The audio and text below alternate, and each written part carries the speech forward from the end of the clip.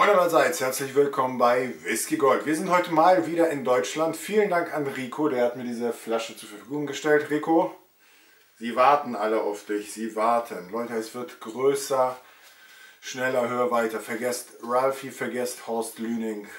Merkt euch Rico. Ja, und wir sind an der Ostsee. Ein Whisky aus Deutschland und zwar der Hansestadt Wismar.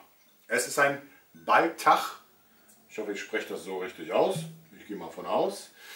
Und ja, ich bin deutschen Whiskys jetzt nicht so bewandert.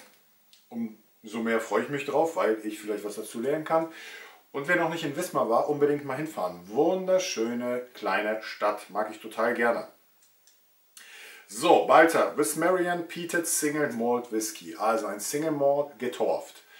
Halbe Liter Flasche, kommt 50 Euro, ist immer noch verfügbar. Er trägt offiziell kein Alter. Ich habe mir jetzt sagen lassen, er soll seine 3-4 Jahre haben.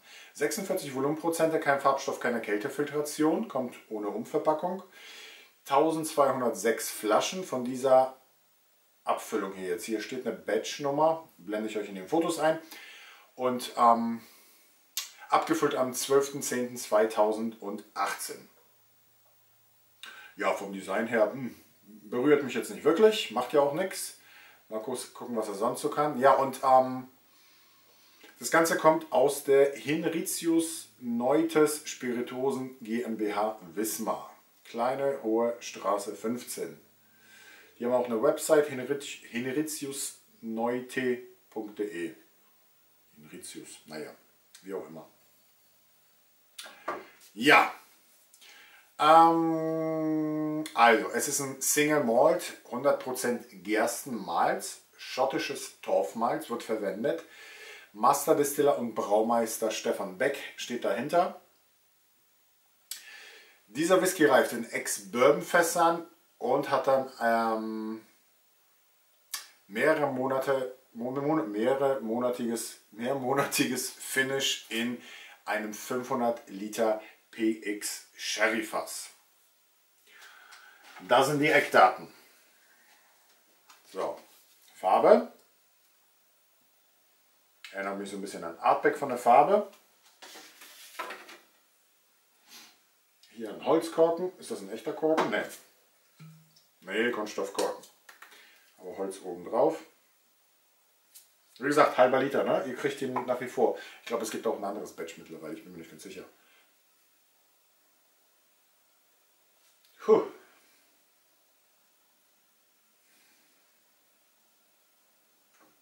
Ja, ist ein bisschen Rauch, ne? Aber nicht wirklich doll. Sehr malzig, malzig süß. Frisch, sommerlich, lebendig, ein bisschen grasig.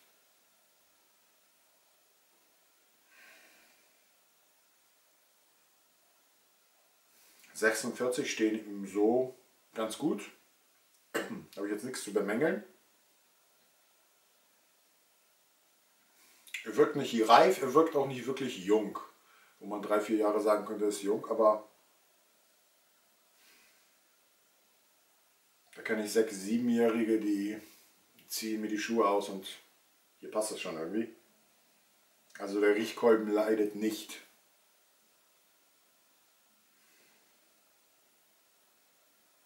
Vielleicht so ein bisschen was Getreidiges noch. Also der Rauch ist jetzt nicht extrem, ne? auch wenn da Peter jetzt draufsteht, alles cool. Kein Luffy, kein Artback, kein Ila, kein Inselwhisky. Ja, relativ einfach. Also, dann wollen wir mal. Rico auf dich, lieben Dank.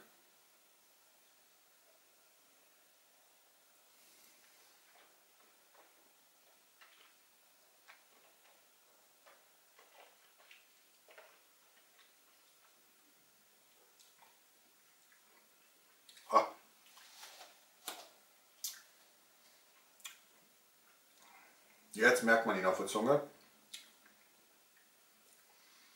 Also dieser zarte Rauch ist irgendwie ungewöhnlich. Ich weiß nicht warum. Oh, kräftiger Antritt. trocken. Ich suche das PX Sherry Fass. Ich habe das Bourbon Fass ganz klar voll im Vordergrund. Wärmend, wärmt die Speiseröhre. Trocken werdend. Heu, Stroh. Ein bisschen Vanille, Weizen.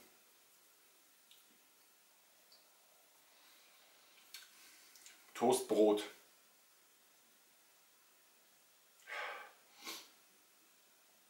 Jung.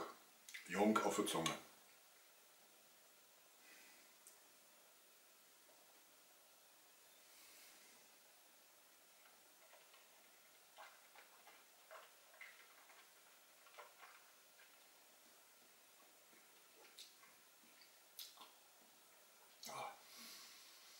Zweiter Schluck besser, aber immer noch. Oh, Zungenspitze hinten raus. Rauch kommt hier deutlicher zur Geltung als in der Nase. Aber der schiebt, der ist spritzig, wenn ich nicht sogar sagen würde, leicht alkoholisch. Also ich habe so eine leichte Assoziation zu einem Obstler, ja? so ein Schwächower oder irgendwie sowas versus Whisky.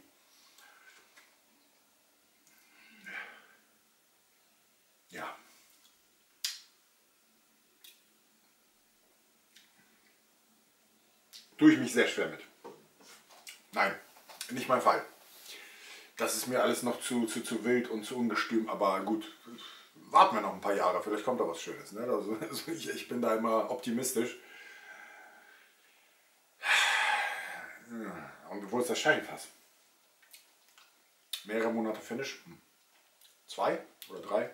Das weiß man nämlich. Was für ein X-Sherryfass? Wie vorbelegt? Also ich würde es mir nicht kaufen.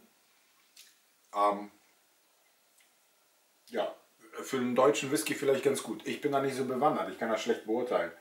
Die Handvoll deutscher Whiskys, die ich probiert habe. Ne? Äh, aber ja, nee, ich bleibe dann lieber da, wo ich sonst unterwegs bin. Ähm, Rico, trotzdem vielen Dank. Horizont erweitert, abgehackt, erledigt. Ihr schreibt mir unten rein, ob ich das völlig verkehrt sehe, aber das ist noch total wild, das Ding. Das ist gerade, das ist, das ist, nein, nein, nein. Noch zu doll. Also ich kann, ich würde den runterkriegen, wenn ich Brand habe irgendwie oder Lust auf Alkohol, dann würde ich den auch trinken. Damals mit Schwiegervater habe ich auch immer Obstler getrunken. Ne? Ob das so ein Pircher war für 10 Euro oder so ein Schwächower für 40 Euro, der aufgesprietet ist. War alles gut, habe ich mit dem Bierchen auch gegeben. Aber so als Single Malt Whisky Genuss fehlt mir da einfach noch die Reife oder einfach das Besondere. Die Flasche finde ich schön, die finde ich immer die Form.